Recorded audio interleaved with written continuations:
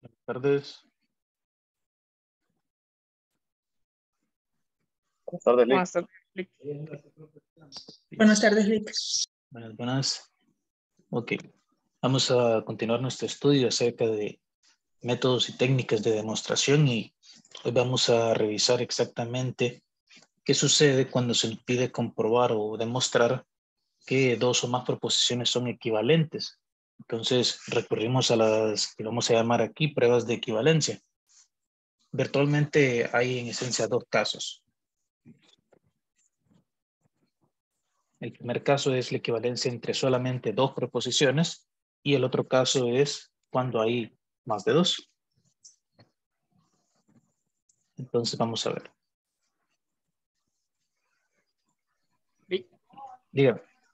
tenía una consulta a saber antes eh, de que inicie. Digamos que se tuviera una proposición donde interviene una triple igualdad. Es decir, Sí. una cantidad A es igual a una cantidad B y esa cantidad B es una igual, igual a una cantidad C al mismo tiempo. Sí. Entonces, la negación de la proposición que involucra a A, B y C sería la negación de solo una de las igualdades. Bien, el, básicamente el tener una triple igualdad.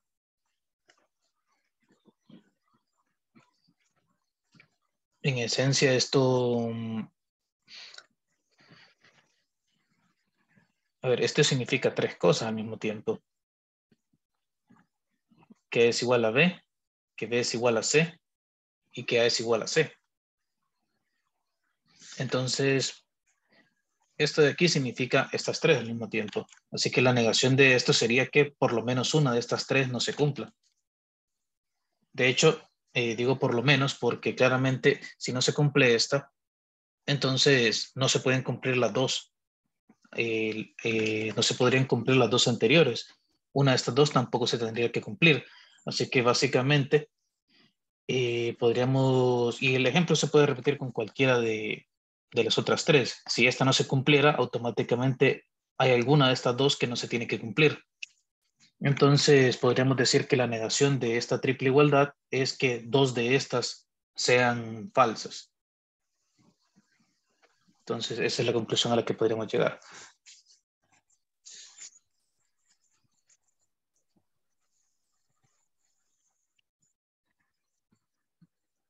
Bien. Entonces, vamos a revisar el ejemplo de equivalencia.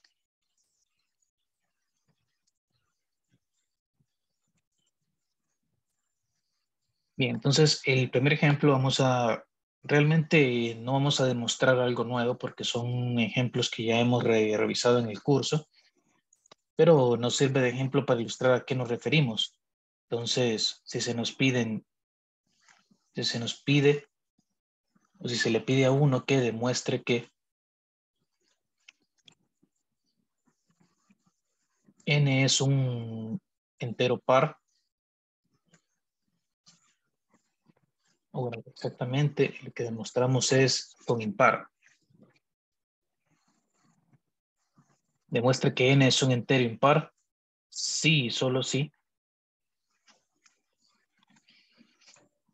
N cuadrado es impar.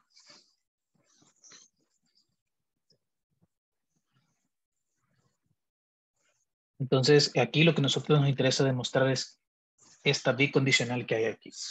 Permítame un momentito.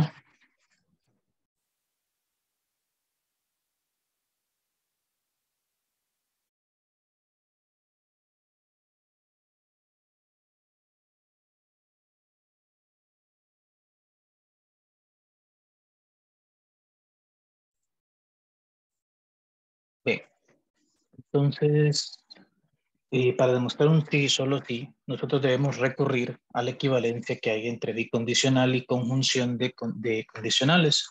O sea, si tenemos que demostrar que P sí solo sí Q, debemos recordar que esto es equivalente a P implica Q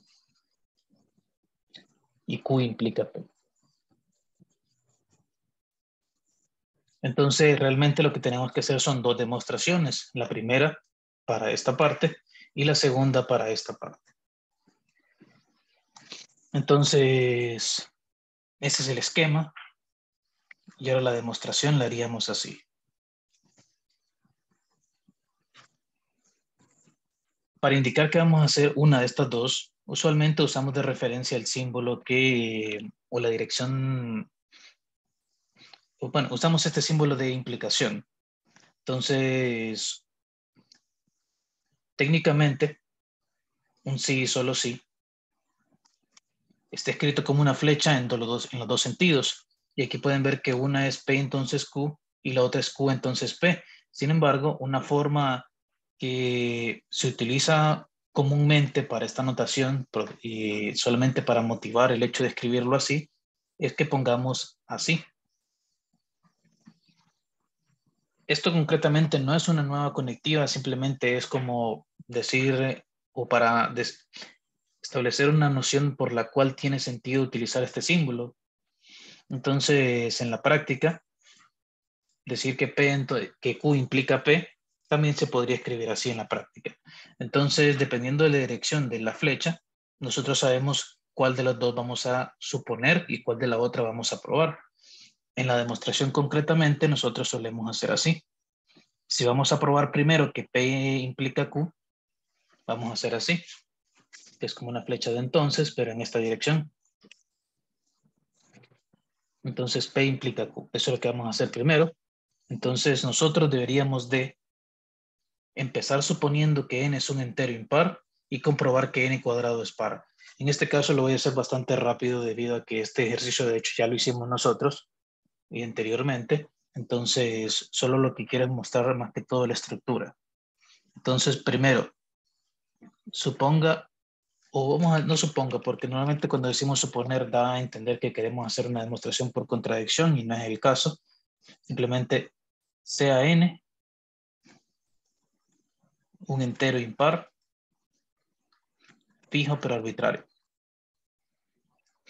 Entonces existe k que pertenece a los enteros. Tal que n es igual a 2k más 1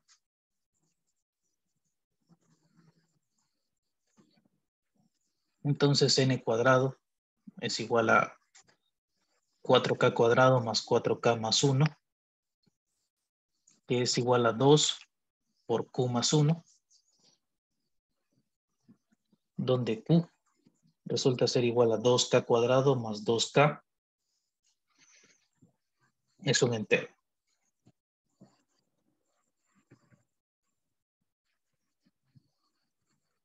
entonces n cuadrado es impar. ¿Ok? Entonces ahí termina la primera parte de la demostración, la de esta de aquí. La siguiente pues sería colocar una flecha como un entonces, pero en la otra dirección, para indicar que vamos a hacer el, el, converso de la implicación. Entonces ahora, sea n un entero, fijo pero arbitrario, tal que n cuadrado es impar. Vea que ahora estamos suponiendo lo último y queremos, vamos a querer comprobarlo primero. Entonces, vamos a hacer una demostración aquí por contrapositiva mejor. Vea que podemos aplicar la demostración por contrapositiva a esta segunda demostración. Eso no es ningún problema. Entonces, o podríamos utilizar una prueba por contradicción también. Entonces vamos a hacer una por contradicción para que haya un ejemplo en clase sincrónica de eso. Porque el ejemplo de contradicción se vio en la clase anterior, pero esa fue simplemente grabada. Y vamos a hacer entonces un ejemplo por contradicción así y acá. Aunque creo que, puede, creo que es el mismo, de hecho, pero bueno. Entonces, Suponga que n es par. Entonces existe, vamos a llamarle m, que pertenece a los enteros. No, no habría ningún problema en llamarle k porque esta ya es una demostración aparte de la de arriba. Así que técnicamente no hay problema con que haya repitencia de las variables. Pero hacemos otra por, porque sí. Entonces existe un entero m tal que n es igual a 2 por m. ¿Por qué? Porque estamos suponiendo que n es par, con el objetivo de llegar a una contradicción, debido, porque, debido a que lo que tenemos que probar es que n es impar. Entonces, bueno, no hace falta de aquí. Entonces, ¿qué sucede? n cuadrado es igual a 4k cuadrado, perdón, 4m cuadrado. Entonces, n cuadrado es igual a 2 por 2m cuadrado. Como 2m cuadrado es un entero,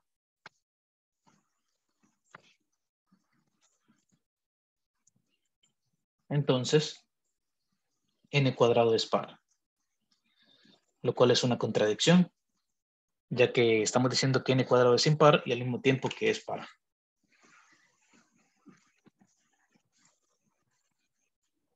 Por lo tanto, esta opción de que n cuadrado sea impar nos lleva a una contradicción, así que la única válida es que n sea impar. Y estas dos demostraciones hacen en conjunto la demostración de este sí y solo sí. Bien, ahora y hay un detalle. Cuando usted lee una demostración de un sí y solo sí en un libro, a veces se lo puede representar de esta forma y a veces no lo hace tan gráficamente, sino que le dice, por ejemplo, supongamos primero o considere primero que n es un entero impar y hace toda esta demostración. Y luego dice, recíprocamente, entonces, recíprocamente, si n es un entero fijo pero arbitrario, tal que n cuadrado es impar, y comprueban que n es par. Entonces, la clave de identificar que está empezando otra prueba para la otra parte de la, de la o para la otra implicación es esa palabra, recíprocamente. Entonces, en algunos libros, usted lo va a poder leer en lugar de esta flecha, un recíprocamente.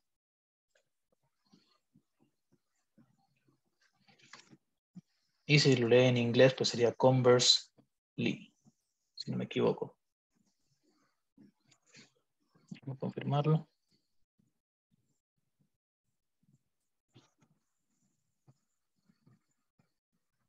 Sí, es.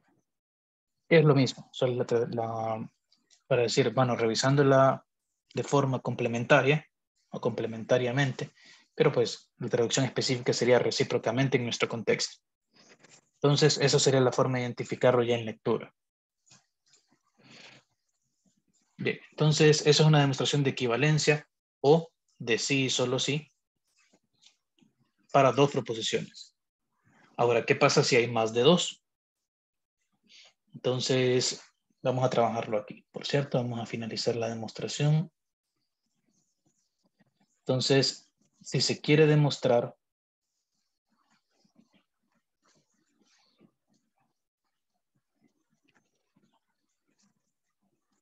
que una lista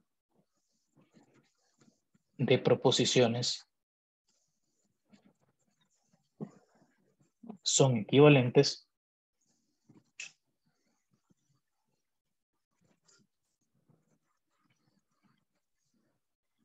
debemos tener en cuenta la siguiente equivalencia.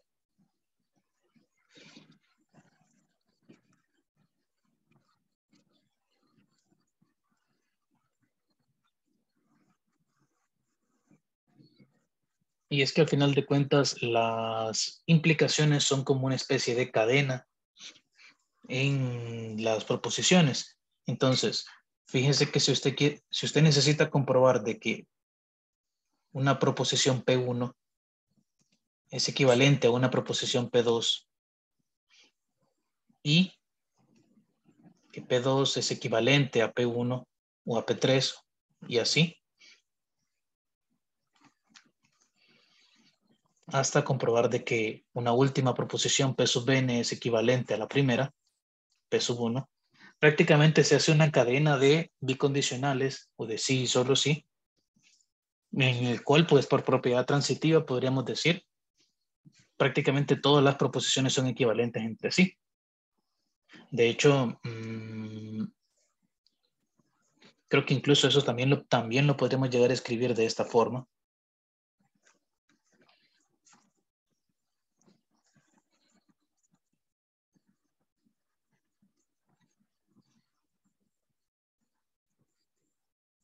Y esto sí, solo sí.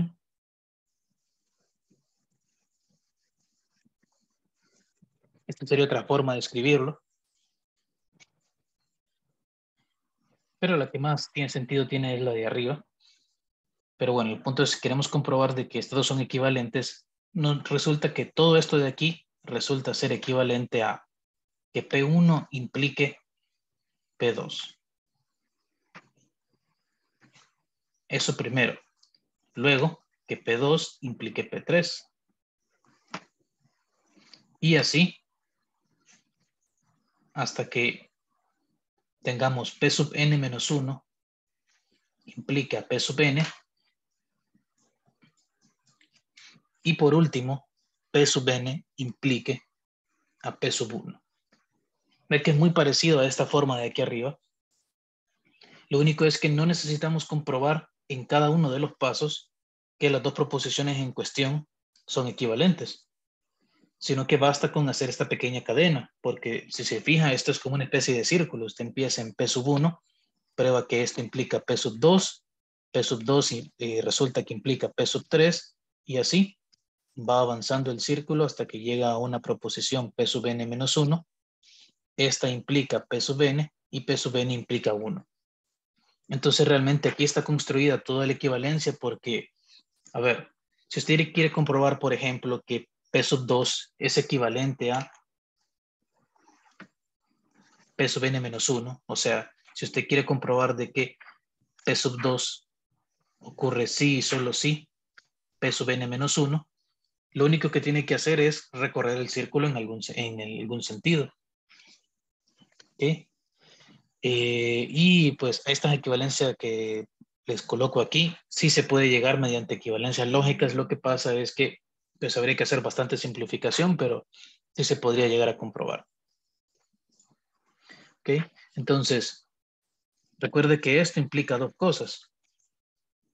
Esto termina siendo equivalente a P sub 2 implica P sub n menos 1 y P sub n menos 1 implica P sub 2. Entonces, ¿cómo usted prueba esto? Bueno, para la primera, para probar que, bueno, creo que este color no, mejor este. Para probar que P sub 2 implica P sub n menos 1, usted lo único que tiene que seguir es esta secuencia lógica que ya está demostrada. Y para probar que P sub n menos 1 implica P sub 2, para probar esto, usted sigue esta secuencia. Usted sabe que P sub n menos 1 implica P sub n, P sub n implica P sub 1 y P sub 1 implica 2. Entonces, hay un camino basado en la lógica que me permite llegar desde P sub n menos 1 hasta P sub 2. Y esto solo fue un pequeño ejemplo. Pude haber utilizado, de hecho, cualquiera cualesquiera dos proposiciones de todas las n que hay involucradas. Entonces, el punto para establecer una equivalencia entre más de dos proposiciones consiste en hacer un pequeño círculo lógico, vamos a llamarlo así, aunque no es un nombre eh, universalmente reconocido, pero es como una especie de ciclo lógico o, o círculo lógico. Entonces, si nosotros logramos construir ese círculo, prácticamente todas las proposiciones van a ser equivalentes ahí. Entonces vamos a ilustrarlo con un ejemplo.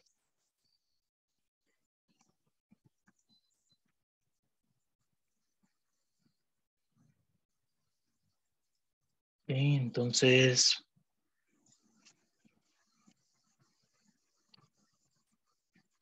muestre que las siguientes, las siguientes proposiciones son equivalentes.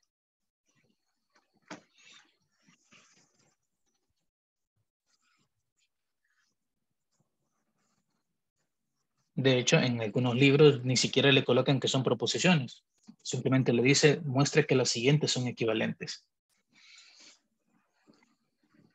Entonces tenemos P sub 1, es que n sea, sea par. P sub 2 es que n menos 1 es impar. Y P sub 3 es que n cuadrado es, eh, es par.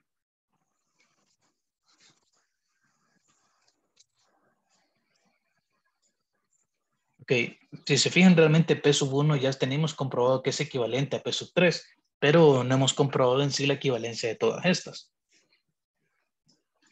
Porque en sí, para comprobar de que todas estas son equivalentes, tendríamos que probar de que todas las posibilidades, que P sub 1 es equivalente a P sub 2, P sub 1 es equivalente a P sub 3, P sub 2 es equivalente a P sub 3. Esas son todas las posibilidades que habría que probar. Y ya tenemos solo una de ellas, sin embargo, nos haría falta comprobar que P sub 1 es equivalente a P sub 2 y P sub 2 es equivalente a P sub 3. Eso en principio, pero por esta equivalencia que vimos aquí, vemos que realmente no hace falta comprobar esas dos situaciones. Simplemente construir el círculo. Entonces vamos a ver.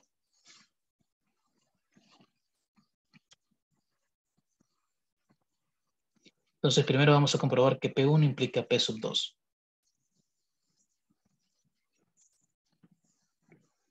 Y eso es bastante sencillo. Sea n, un entero. Vamos a llamarlo, vamos a decir así. Mejor. Sea n, un entero par. Fijo pero arbitrario. Entonces existe otro entero k tal que n es igual a 2k, 2k, así. Entonces, n menos 1 es igual a 2k menos 1. Y esto casi es la definición de número impar. Lo que pasa es que aquí está con signo menos y nuestra definición es con signo más. Entonces vamos a hacer un pequeño arreglo aquí. Veamos que n menos 1 es igual a 2K menos 1, como está aquí, pero voy a restarle 1 y a sumarle 1. O sea, es el mismo número. Pero esto me deja 2K menos 2 más 1. Y esto se puede escribir como 2K menos 1 más 1. Y como K menos 1 es un entero, Entonces, n menos 1 es impar. Y ya está. Ya está probado P sub 2. Entonces ahora vamos a comprobar que P sub 2 implica P sub 3. Entonces decimos sea n un entero fijo pero arbitrario tal que n-1 es impar.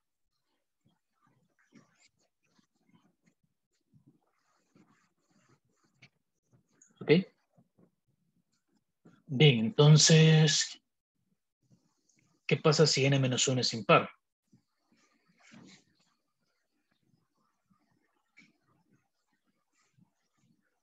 Entonces existe un entero que va acá, como les repetía esto, o como les decía, y ahora repito, como esta es otra demostración, aparte de la primera, podemos repetir el K sin problema. Existe un entero K, tal que n-1 es igual a 2K más 1. Y de hecho, este K ni siquiera tiene que ser el mismo del anterior, porque ya son completamente distintos, es solo ponerle un nombre a una cantidad. Entonces, aquí n-1 es igual a 2K más 1. Entonces, n sería igual a 2K más 2. Y si aquí somos un poco eh, perspicaces, podríamos hacer la separación primero de decir 2 por K más 1. Así cuando le demos al cuadrado, nos va a quedar 4 por k más 1 y ni siquiera vamos a tener que expandir ese binomio al cuadrado, porque esto se puede escribir como dos veces k más 1 cuadrado. Y como 2 por k más 1 cuadrado es entero,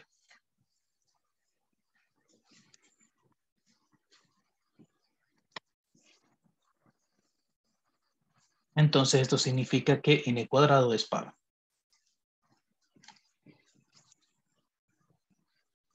Bien, entonces partimos de que n-1 era impar y probamos que n cuadrado es par, así que ya está. Por último, comprobamos que P3 implica P1 y aquí simplemente le ponemos ya está. ¿Por qué ya está? Porque justamente en esta clase y en la clase de hoy ya comprobamos que si n cuadrado es impar, bueno, técnicamente no lo comprobamos, pero pues entonces no es que ya está, ese es error mío. Lo que comprobamos en sí fue con impar arriba. Aquí lo único que vamos a hacer es una prueba por contrapositiva, entonces. Entonces vamos a ver. Debemos probar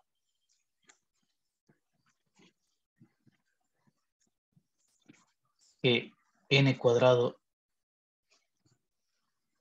que si n cuadrado es, impar, es par, entonces n es impar, n es par, perdón. Lo cual es equivalente por contrapositiva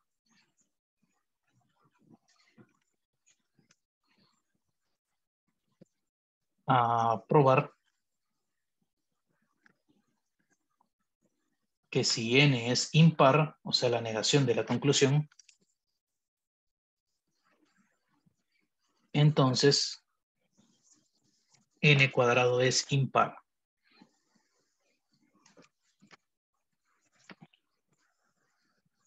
Mm, bien.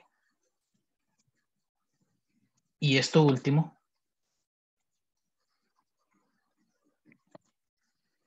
ya fue probado en el ejemplo anterior.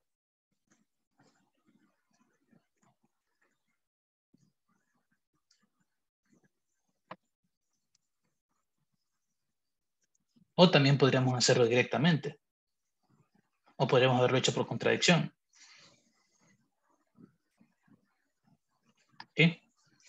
Pero eso es lo que suele hacer uno cuando demuestra cierto tipo de cosas. Hay otras que son equivalentes que realmente no hace falta probarla desde cero. Si uno ya lo tiene demostrado, simplemente lo dice, que yo ya demostré algo que es equivalente y, la razón por la que son equivalentes es esto, en este caso contrapositiva. Entonces no, necesito probar esto otra vez.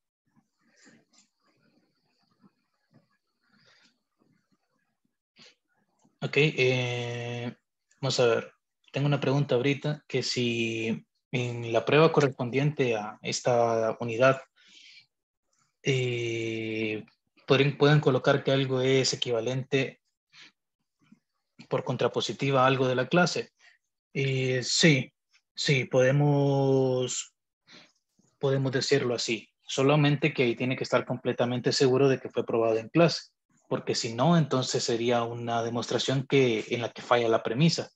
Entonces, pero si, si fue comprobado directamente en clase, usted puede argumentar que esto se cumple por, no necesariamente por contra, contrapositiva, pero si en dado caso se cumpla, sí se puede. O para hacerlo en resumen, si su demostración hace referencia a, que a algo de la clase que ya se demostró y resultan ser equivalentes, puede hacerlo. Ok, ahora, mm, ahora bien, con respecto a, las, eh, a los ejercicios de tarea, si son de las unidades anteriores, sí pueden hacer referencia a ello, pero si son de esta unidad, concretamente habría que comprobar el ejercicio de tarea primero. Porque en sí no, tengo yo referencia de que usted ya lo hizo en la tarea, aunque capaz ya lo haya entregado, pero durante la prueba en sí no tengo referencia a que realmente lo haya hecho. O sea, técnicamente está bien, pero eh, pedagógicamente necesitaría saber que usted ya lo hizo. Entonces, solamente sería, por ejemplo, en la siguiente unidad, usted va a poder hacer referencia a toda la lista de proposiciones que nosotros eh, trabajemos en, esta unidad. Pero de momento en estas, los de la tarea que están aquí, esos habría que desarrollarlos durante la prueba si llegasen a necesitarlo.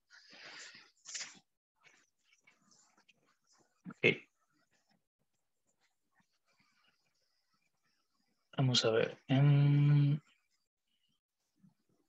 y bueno, hemos estado comprobando en las últimas clases cómo demostrar que ciertas proposiciones son verdaderas, que es lo natural. Ahora, si nos vamos a la... Bueno, eso es lo natural con respecto a clases. Sin embargo, hay algunas... Hay algunas, por decirlo así, proposiciones o resultados que se plantean en forma de pregunta. Entonces, le puede decir a usted, explique, o se le puede decir, demuestre por qué se cumple o explique por qué es falsa la siguiente proposición. Se lo dejan abierto para que usted investigue. Investigue no se refiere a que usted lo vaya a buscar en internet porque probablemente esté, sino que usted razone acerca, sobre acerca del ejercicio y pueda decidir, basado en su conocimiento, si cree que es verdadero y en todo caso hacer una demostración o si piensa que es falso. ¿Ok? Entonces, vamos a ver ahora cómo argumentamos o cómo argumentaríamos que una proposición es falsa, aunque ya tenemos cierta experiencia de ello, porque hemos estudiado un poquito de, de lógica de cuantificadores en la, en la unidad anterior. ¿Ok?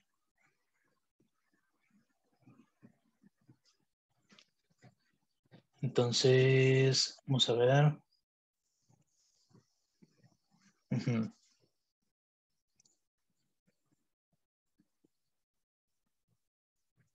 Sí, esa sería una expresión equivalente. Me dicen que en un cierto libro, específicamente de variable compleja, decía que se cumple cierta propiedad. Y si no se cumple, ¿por qué razón? Es más que todo un estilo de pregunta verdadero o falso, ¿verdad? Entonces, le establecen una proposición y pues normalmente uno comprueba de que se cumple o explica por qué se cumple basado en algún teorema o algo así. Y si no, pues habría que justificarlo. Y con eso es lo que vamos ahora. Comprobar que ciertas proposiciones son falsas involucra la, eh, comprobar la existencia de un contraejemplo. Porque como han estado observando, en todas estas proposiciones que hemos estado demostrando, llevan cuantificaciones universales implícitas. Entonces, vamos a ver.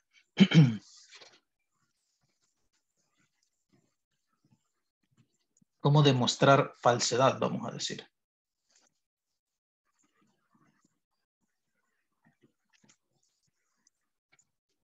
Entonces, de una proposición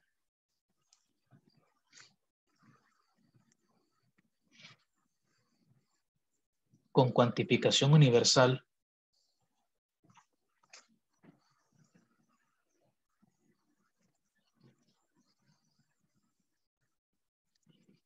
implícita o no. Perdón.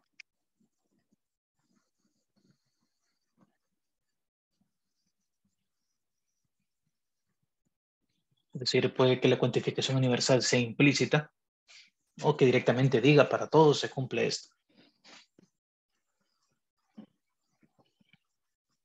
Demostrar que es falsa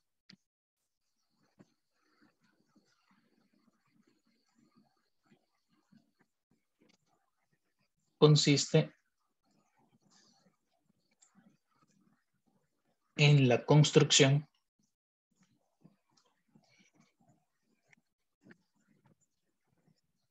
de un contraejemplo. O sea, un valor específico, ya sea de un número X, en caso de que la proposición sea sobre números, sobre si alguna función que no cumpla, si la proposición fuese sobre funciones, algún conjunto en específico que no cumpla ciertas propiedades, en general, encontrar un objeto que cumpla las hipótesis, pero no cumpla la conclusión, eso es un contraejemplo. Entonces, básicamente es la estrategia de demostración de falsedad más efectiva. Sin embargo, pues uno también puede llegar a hacer un tipo de argumentación en el cual pues uno dice esto no existe porque contradeciría un teorema específico.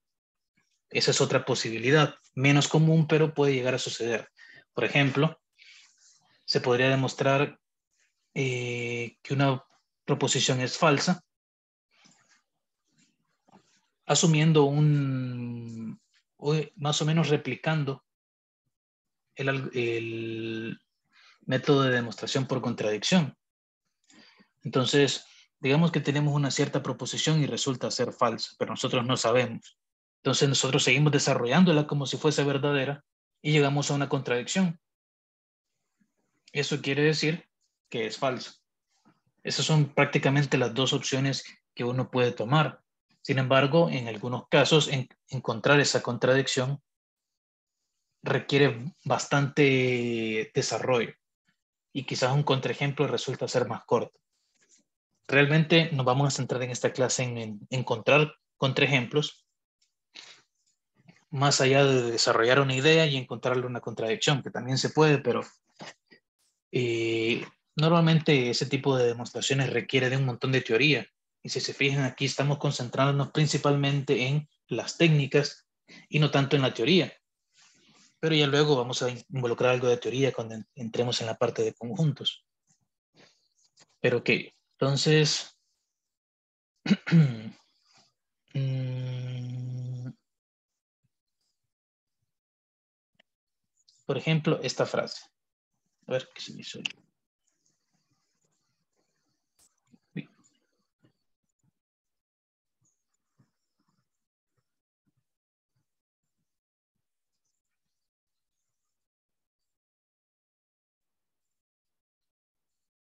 Por ejemplo, esta frase.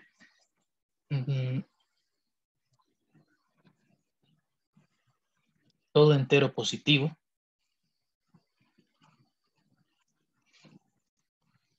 Es suma de dos cuadrados perfectos.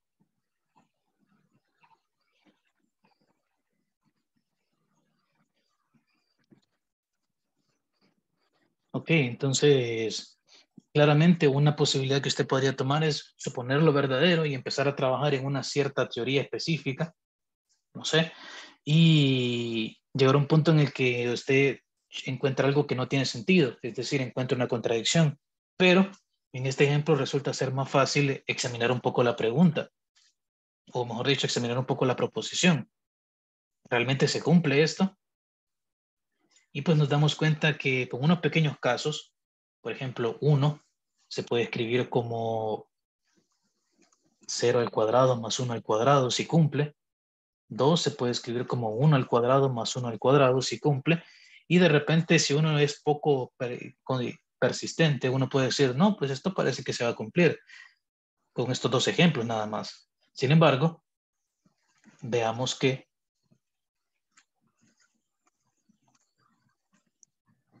3 no se puede escribir como una suma de cuadrados perfectos.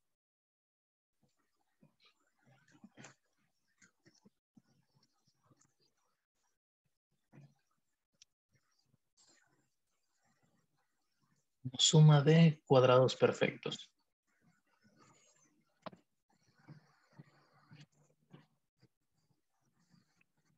Ahora viene la pregunta trampa aquí. ¿Y por qué no? Ese por qué no requeriría, entonces una pequeña demostración. Entonces, vamos a ver. Supongamos que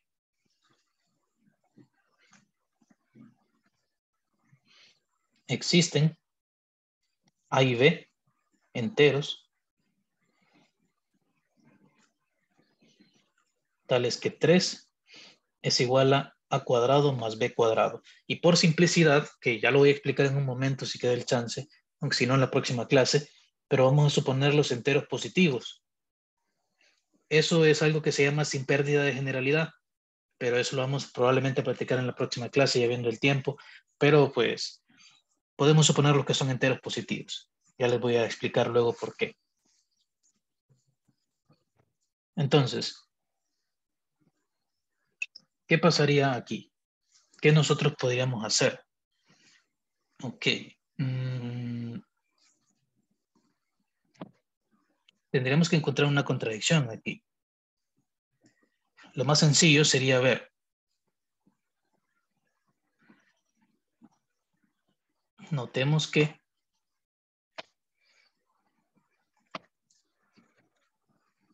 si A es mayor que 2, mayor o igual que 2, entonces A cuadrado sería mayor o igual que 4.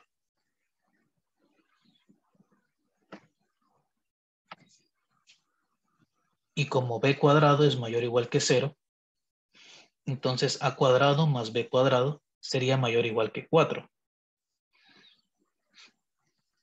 Eso significa que A no puede ser mayor o igual que 2, porque eso contradeciría que es que esa suma de A cuadrado más B cuadrado es igual a 3. Eso es como anticiparse a, a un método por contradicción. Técnicamente es como una especie de método de contradicción dentro del método de contradicción, porque aquí estamos diciendo, si este caso se cumpliera, o si esta información adicional la tuviéramos, yo tendría una contradicción. Así que definitivamente por ahí no es. Luego,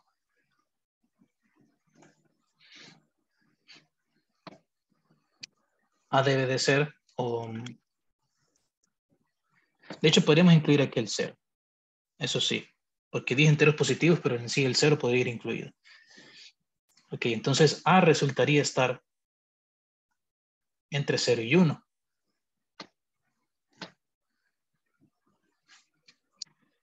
Similarmente,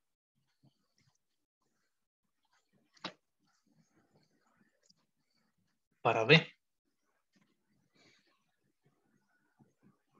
Porque el argumento sería el mismo. Si b es mayor o igual que 2, entonces b cuadrado sería mayor o igual que 4, y como a cuadrado es mayor o igual que 0, tendríamos esto mismo de aquí. Entonces realmente, esta palabra similarmente se utiliza cuando nosotros queremos intercambiar esta variable b en el lugar de la que acabamos de comprobar y el argumento se mantiene igual.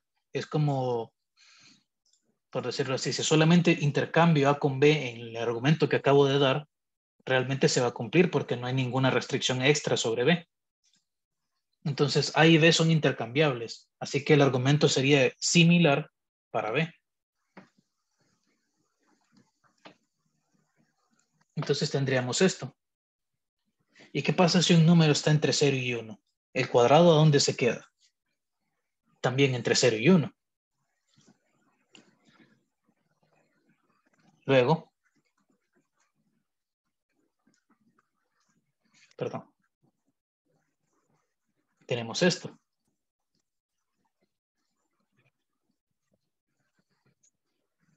Y nosotros sabemos que con las desigualdades podemos sumarlas libremente. Entonces, 0 más 0 es 0.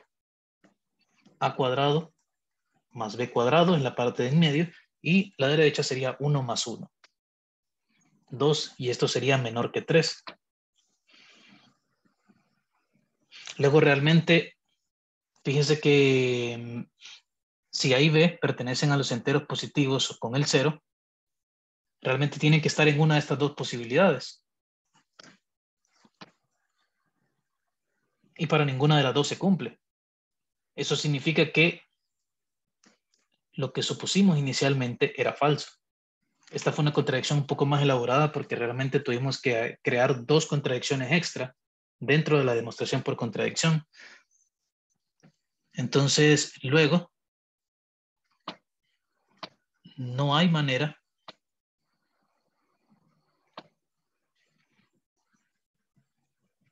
que existan A y B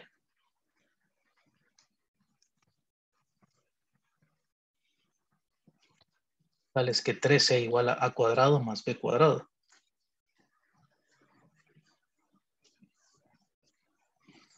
Entonces realmente no todo entero positivo es suma de dos cuadrados perfectos. Está el 3, que ya acabamos de comprobar de que no se puede. Ahora, esto lo hice más que todo por ilustración, porque si nos vamos a la práctica, pues era bastante claro de que los únicos cuadrados perfectos que no se pasaban de, de, de, de 3 eran 0 y 1.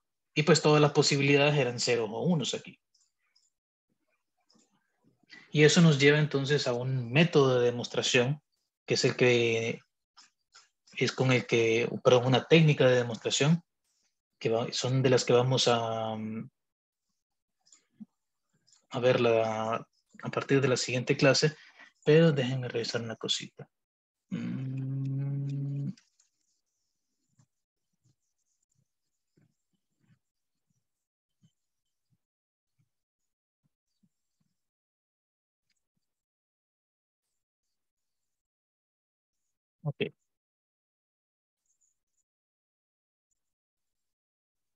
Entonces, bueno, para cerrar esta parte de aquí, nosotros tenemos que, para comprobar que una proposición es falsa, basta con encontrar un contraejemplo. En teoría, nosotros tenemos que cerciorarnos que ese contraejemplo realmente no cumple. Por eso que hicimos esta demostración. Comprobamos de que no era posible. Sin embargo, les, les quería comentar que hay otra forma de hacer esta demostración de aquí, porque esta parece un poco un poco trabada, por decirlo así, porque intentamos ir por contradicción y luego tuvimos que hacer una, una separación ahí para generar otras dos contradicciones, se miraba algo elaborado. Realmente se podía hacer de forma mucho más corta. Y realmente la cuestión es que nosotros utilizamos unos el método de demostración por contradicción y pues hay otras técnicas que nos pueden interesar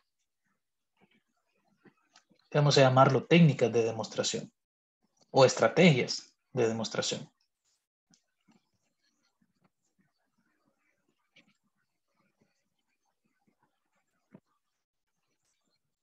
Esas estrategias son simplemente ideas que nosotros podemos tomar en cuenta para simplificar una demostración. Y realmente de estas técnicas o de estrategias que vamos a ver, aplicamos una aquí indirectamente que es esta de, ¿qué pasa si A es mayor o igual que 2?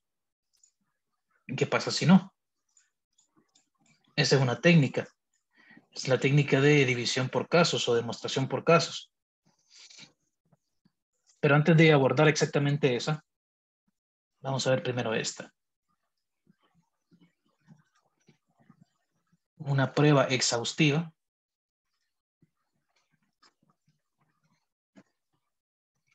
o también llamado coloquialmente una prueba, una prueba por fuerza bruta.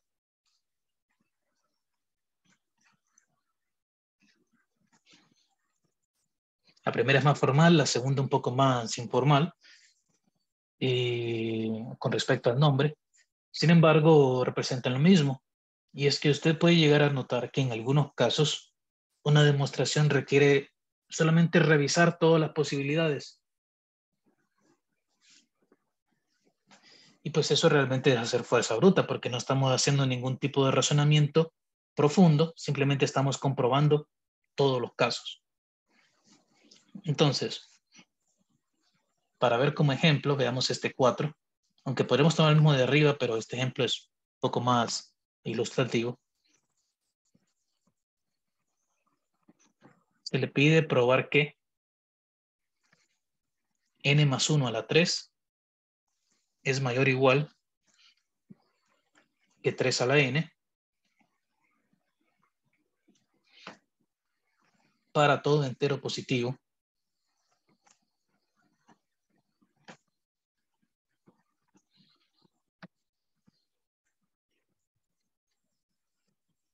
N. Con n menor igual que 4. Entonces, aquí podría parecer algo complicado en, principio, parece que no tenemos herramientas todavía para ah, comprobar esto. Sin embargo, yo sé que realmente nos está pidiendo comprobar esto para una cantidad bastante pequeña de, de valores de n. Realmente solo nos pide comprobarlo para n igual 1, n igual 2, n igual 3 y n igual 4. Son solo cuatro posibilidades. Entonces, existen problemas o existen proposiciones en las cuales, pues, construir un razonamiento que cumpla para todas las posibilidades de un solo toma mucho más tiempo que realmente ver todas las posibilidades. ¿Ok? Eh, entonces, eh, es correcto. Técnicamente aquí al poner con n menor o igual que 4 y al tomar que en el dominio era enteros positivos, realmente este con n menor o igual que 4 es una restricción del dominio y lo convierte en un dominio finito. Entonces, realmente para comprobar esto,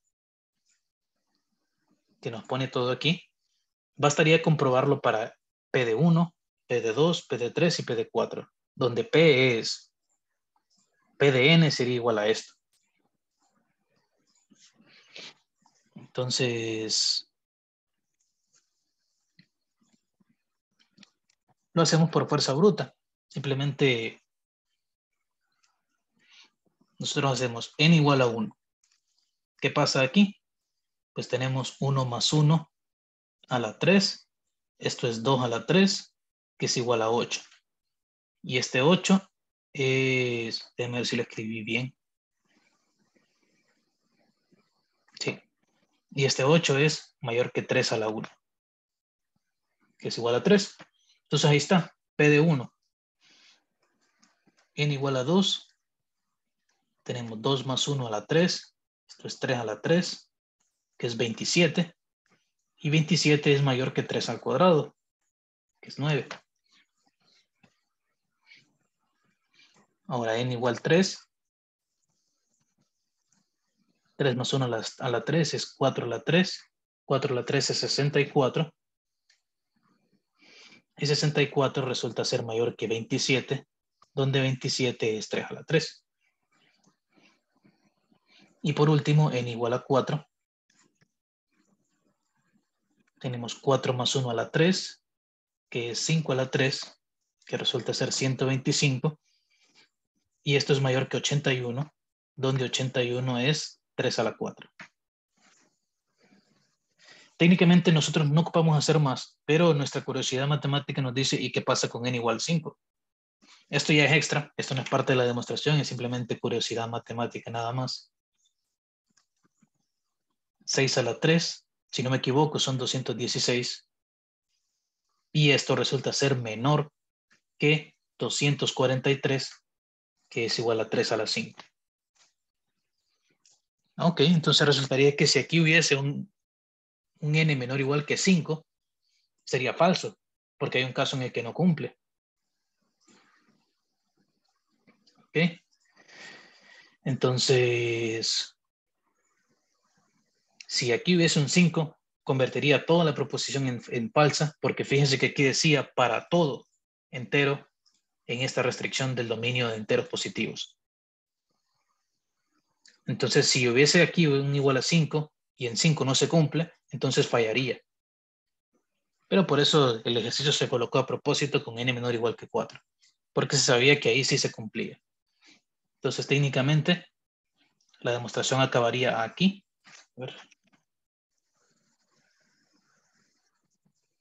Y lo único que nos resta decir es, por lo tanto, n más 1 a la 3 es mayor o igual que 3 a la n. Para todo n, menor o igual que 4, o vamos a ponerlo aquí, entero positivo con n menor o igual que 4. Y ya está. Entonces, lo repito solo para que quede claro. Esta prueba nosotros la podemos hacer en una de dos situaciones, en cualquiera de las dos situaciones siguientes. Primera, cuando sean poquitos casos. En este caso fueron cuatro. Es, obviamente eso de relativo es, perdón, eso de poquito es relativo, porque cuatro puede resultar ser poquito, pero también 50 casos puede resultar ser poquito si nuestra eh, si nuestro, si inicialmente lo que nosotros teníamos que comprobar eran 100.000 casos. Eso puede llegar a ser poquito, pero pues eh, nos vamos a limitar a cuestiones pequeñas de la forma, de forma relativa. Entonces, esa es una situación. Y la otra, si resulta más fácil hacer la comprobación de todos los casos que generar una, una idea en el cual se cumplan eh, todas las posibilidades con un solo argumento, pues también es mejor hacer una prueba exhaustiva. Ahora, ¿qué sucede? Normalmente cuando hay una cantidad infinita de valores, como por ejemplo, si aquí hubiese sido menor o igual y aquí hubiese cambiado a n mayor o igual que 5, entonces ahí no podemos hacer una prueba exhaustiva porque básicamente hay infinitos elementos y no podemos comprobar la infinidad porque no ocuparíamos tiempo infinito para, para desarrollarla. Y pues no, no se podría. Entonces, una restricción para poder utilizar una prueba exhaustiva es que el dominio tiene que ser finito. Y la otra cuestión es que, además de ser finito, pues que el dominio tenga una cantidad de elementos pequeña donde pequeña es relativo. Entonces, eso es lo primero. Hay una mejora de este tipo de prueba exhaustiva, que es el método o la técnica de demostración por casos, que consiste en, en lugar de tener que probar todas y cada una, yo desarrollo argumentos, pero para ciertos grupos. Entonces, en lugar de tener infinitos casos, agrupo casos como este, por ejemplo, aquí puede haber dicho, ah, bueno, los impares, para los impares se demuestra de esta forma, para los pares se demuestra de esta otra forma. Ahí agrupé en casos y hice un argumento dependiendo de cada caso. Esa es más o menos la idea de, una, de la técnica de demostración por casos. Pero eso la vamos a ver en la siguiente clase, que va a ser el jueves y va a ser sincrónica. ¿Okay? Entonces, ese es apunte porque normalmente los jueves no teníamos clase sincrónica, este jueves sí, por la excepción de la semana de la carrera de matemáticas. Y pues, bueno, de momento vamos a quedarnos hasta aquí, a menos que haya alguna pregunta antes de terminar.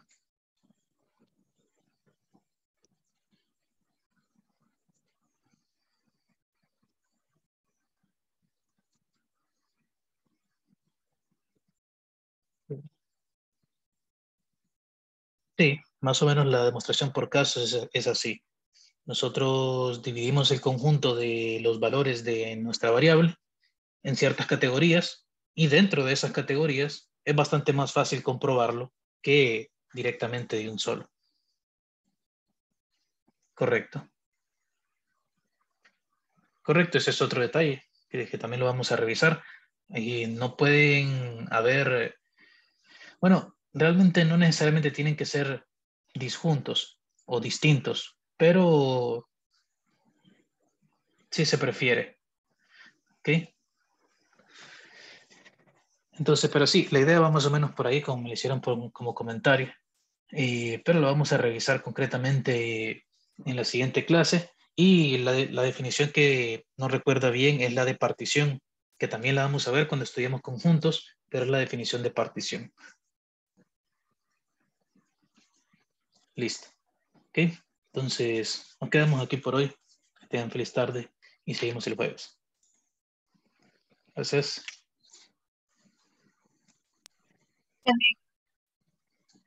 Listo. Vemos.